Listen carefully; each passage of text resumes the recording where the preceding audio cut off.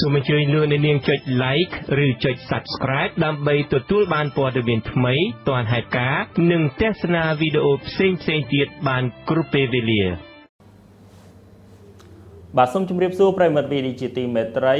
លោកនាងប្រហែលជាមួយចំនួនប្រហែលជាមិនទាន់ភ្លេចទេអំពីការបាត់ខ្លួនរបស់លោកវ៉ាន់ចលើមសັດស័ក្តិសិទ្ធដែលជាសកម្មជនសិទ្ធិមនុស្សរបស់ប្រទេសថៃ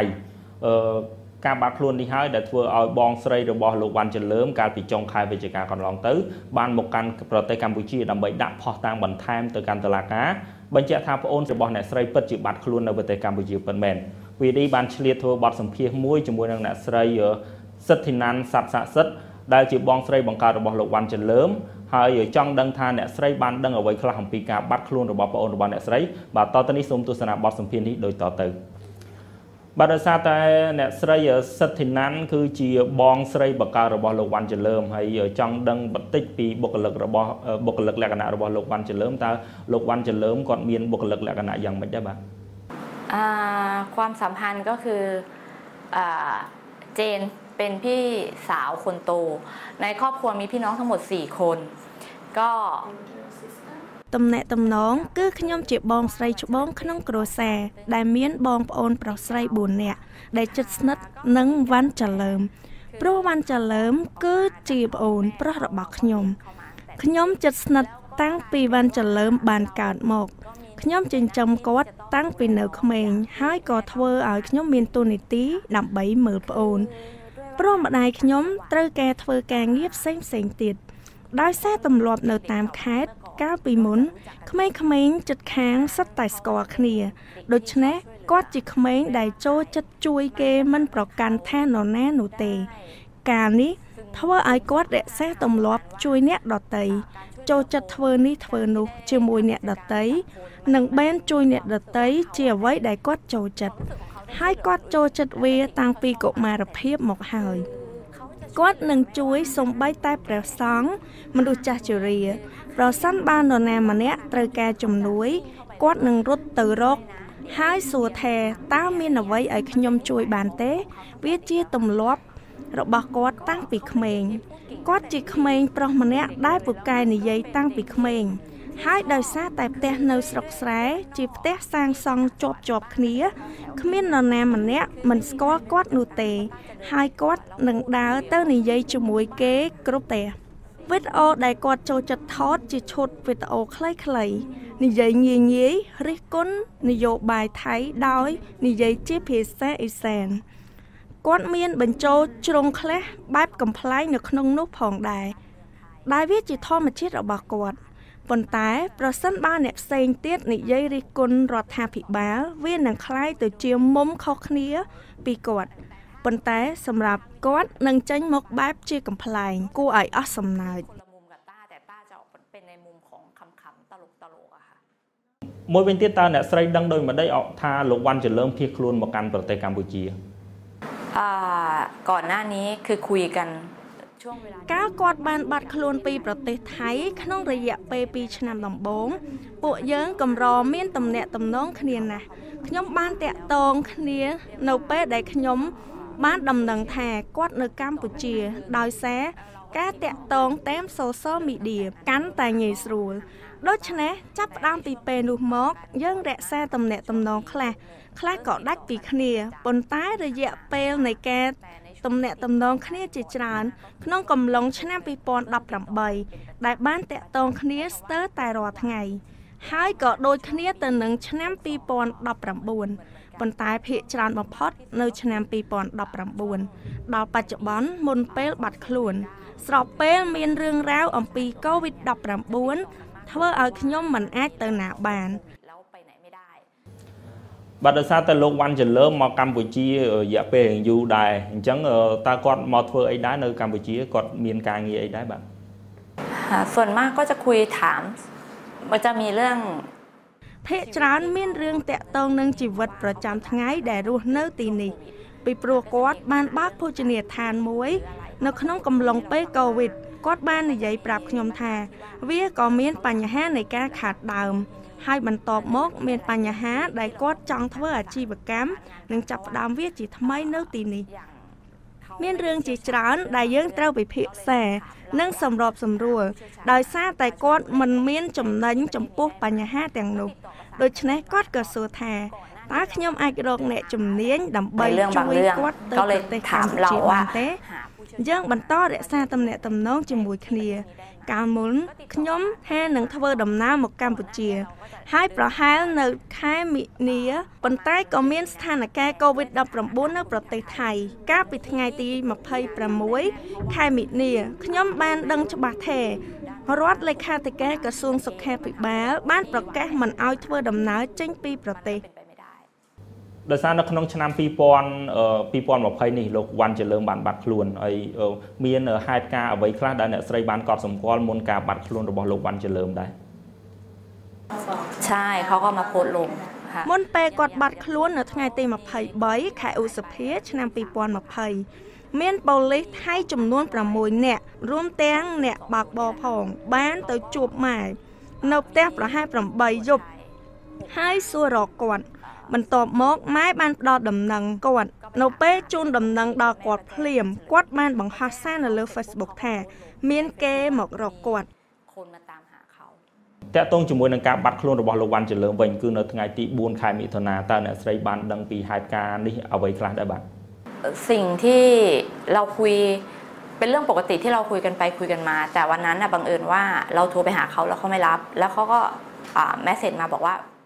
អ្វីដែលយើងបាននិយាយគ្នាគឺរឿងធម្មតាប៉ុន្តែចៃដន្យនៅថ្ងៃនោះខ្ញុំបានទូរស័ព្ទទៅគាត់គាត់មិនបានទទួលហើយគាត់បានផ្ញើមកថាបានឈប់មីនីម៉ាតមួយផ្លែតហើយបន្ទាប់ពីនោះមកមិនដល់5នាទីផងគាត់បានទូរស័ព្ទមកវិញហើយពេលគាត់បាននិយាយថាគាត់បានទិញតំណែងហើយហើយបន្ទាប់មកគាត់ទិញប្រហិត នៅពេលដែលគាត់និយាយថាទិញប្រហិត នៅពេលនោះខ្ញុំលឺសំឡេងដូចខ្ញុំមិនដឹងថាមានអ្វីកើតឡើងទេប៉ុន្តែដឹងថាគាត់មានគ្រោះថ្នាក់ហើយលឺសំឡេងដូចប៉ាំងប៉ាំងឬស្ដាប់ទៅដូចជាអ្វីទេនោះខ្ញុំមិនដឹងថាវាជាអ្វីទេ បន្ទាប់មកវាបានស្ងាត់ទៅប៉ុន្តែខ្ញុំបានលឺសំឡេងនោះរហូតខ្ញុំលឺថាអូចខ្ញុំដកដង្ហើមមិនរួចទេ កំឡុងពេលដែលខ្ញុំបានឮសំឡេង ប្រហែលជា16នាទីព្រោះខ្ញុំបានថតសំឡេងទុករួចហើយ ហើយបន្ទាប់មកសំឡេងក៏បាត់ទៅ ក្រៅពីនេះខ្ញុំបានដឹងច្បាស់ថាគាត់មានគ្រោះថ្នាក់ពិតមែន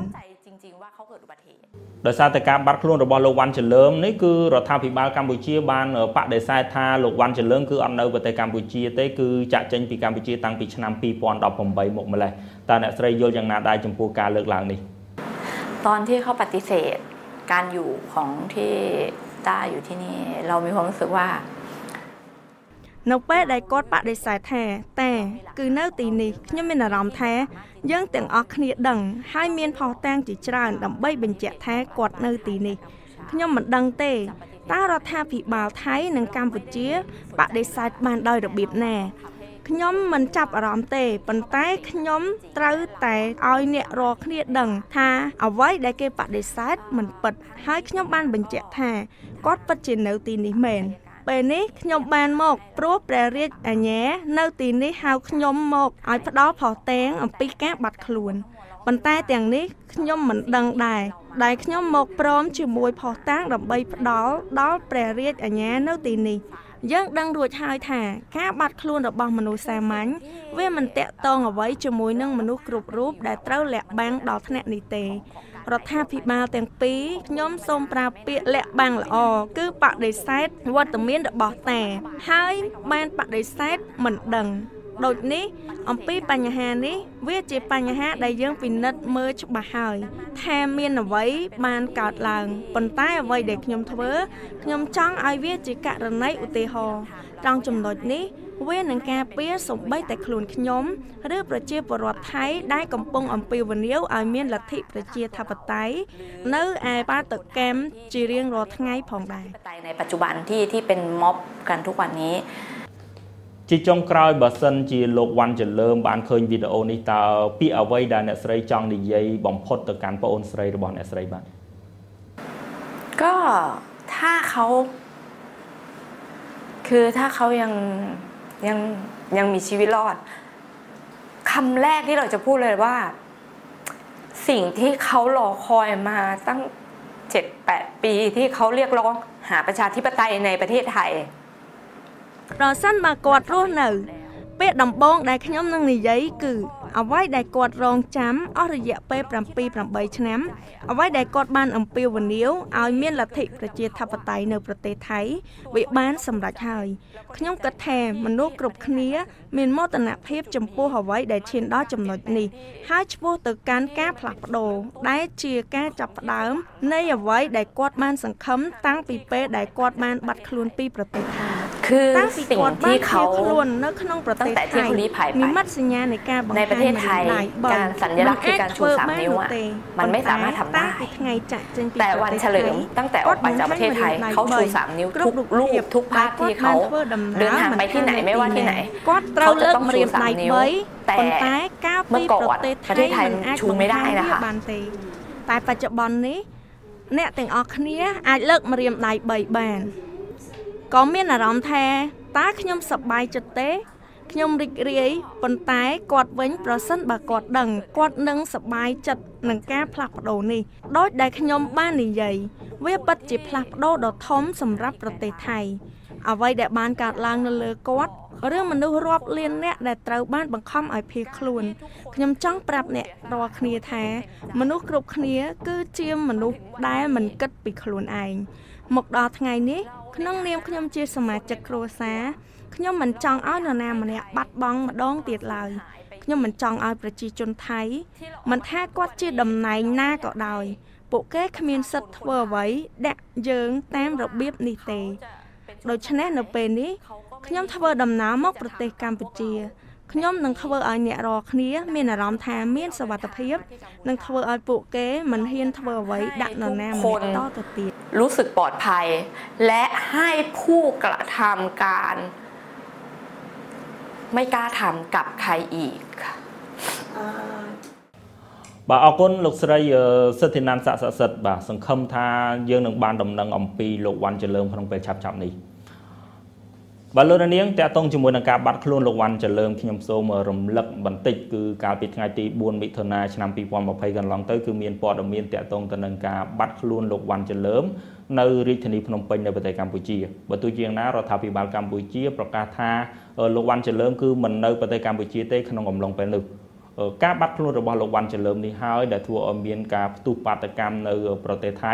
ដែលរហូតមកដល់ពេលនេះការផ្ទុះបាតកម្មនេះគឺមានលក្ខណៈត្រង់ទ្រាយធំរហូតដល់ទាមទារនៅសិទ្ធិអំណាចមួយចំនួនប្រកល់ជូនប្រជាពលរដ្ឋបងស្រីរបស់លោកវ៉ាន់ចលឹមវិញគាត់មានមោទនភាពចំពោះប្អូនប្រុសរបស់គាត់ដោយគាត់លើកឡើងថាអ្វីដែលលោកវ៉ាន់ចលឹមចង់ឃើញចំពោះប្រជាជនថៃនៅពេលនេះគឺបានចេញជារូបរាងហើយ ហើយបើសិនជាលោកវ៉ាន់ចលើមបានឃើញគឺប្រកាសជាសប្បាយចិត្តខ្លាំងណាស់បាទតើតនេះសូមអរគុណសូមជម្រាបលា